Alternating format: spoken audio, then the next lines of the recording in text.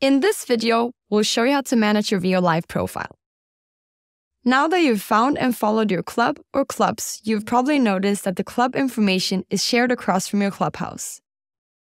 If you wish to update any of these visible details, such as club name or crest, Clubhouse admins will be able to do so from the Clubhouse on app.veo.co.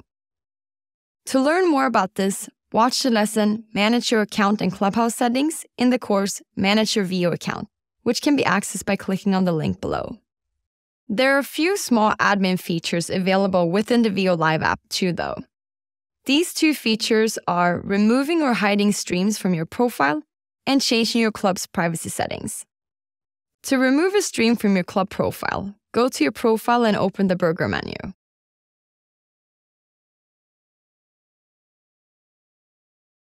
Then select Settings and tap on Stream Management from the Admin section.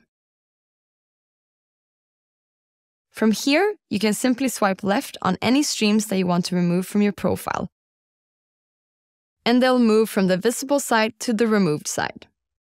Club admins can also change their club privacy settings by opening the club privacy from within the same settings area. They can update the club to either public, unlisted, or private. More information can be found in the club privacy section explaining what each selection means.